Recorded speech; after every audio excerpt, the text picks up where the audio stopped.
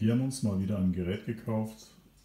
Aktuell handelt es sich um einen Joghurt-Maker der Firma Klarstein. Bei uns ist es das Modell 100-11602.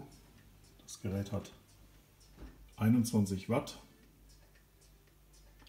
hat ein Fassungsvermögen für 12 Gläser in jedes Glas sollen laut Herstellerbeschreibung 210 Milliliter reinpassen. Ich werde das gleich mal ausmessen, ich habe selbst noch gar nicht gemessen. Das Kabel, was daran ist, habe ich gemessen, sind 80 cm. Ja, es ist einfach strukturiert, das Gerät, auch einfach in der Handhabung, hat nur zwei Knöpfe. Links ist der Timer-Knopf, da stellt man die Zeit ein. Durch mehrfaches Drücken werden die Stunden eingestellt und äh, dann einfach auf rechts auf Stopp, äh, auf Start und dann geht es los. Ähm, wir haben schon mal Joghurt gemacht, deswegen habe ich auch nur so wenige Gläser drin. Wir haben auch schon die erste Erfahrung gemacht. Wir haben statt 8 Stunden, die wir einstellen sollten, haben wir 9 Stunden eingestellt, haben ein bisschen ähm, Milchpulver zugefügt, also Kaffeeweiserpulver in die Milch mit den Joghurtkulturen. Die Joghurtkulturen haben wir einfach aus dem Supermarkt geholt, Bio-Joghurt.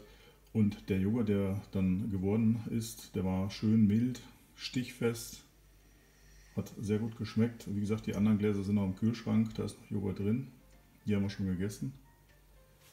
Und ich teste jetzt mal, ob hier wirklich 10, äh, 210 Milliliter reinpassen. Schnell schütten und ohne was zu verlieren. Und es sind 210 Milliliter, ziemlich genau. Das mal 12, also kommt eine ordentliche Menge Joghurt zusammen. Das Gerät ist so ganz gut verarbeitet. Zweckmäßig Kunststoffdeckel, Edelstahlumrandung, der ist Kunststoff, wie gesagt Verbrauch 21 Watt. Einziger Nachteil, den wir bis jetzt schon entdeckt haben, sind die Deckel. Die Deckel haben keine Innendichtung, sind einfach nur Kunststoffdeckel, die werden so mitgeliefert. Und dann ist genau das, was ich befürchtet habe, eingetreten. Man kann sie noch so fest zuschrauben, also ich hatte sie doch durchaus fest zugeschraubt. Aber ich habe heute einen Joghurt mit zur Arbeit genommen und äh, hatte den Gott sei Dank in einer Kunststofftüte eingepackt. Aber ähm, es ist Kondensat ausgetreten, also die Kunststofftüte war von innen relativ feucht und es war auch so eine saure Feuchtigkeit, also sie roch sehr sauer, Joghurt-typisch halt. Und das möchte man natürlich nicht in der Arbeitstasche, in der Schultasche, im Rucksack haben. Da wünschte ich mir schon, dass die Gläser besser abgedichtet wären. Ja, das ist das einzige Manko, was wir bislang festgestellt haben. Ansonsten erfüllt das Gerät durchaus seinen Zweck. Es hat 43 Euro gekostet und wir haben es im Internet bestellt. Die Deckel, dadurch, dass die Deckel nicht äh, gut abgedichtet sind, haben wir uns aber schon mal weiter informiert und haben uns noch ein Gerät gekauft, weil wir relativ viel Joghurt essen. Äh, wir sind eine fünfköpfige Familie und Joghurt geht bei uns sehr gut weg.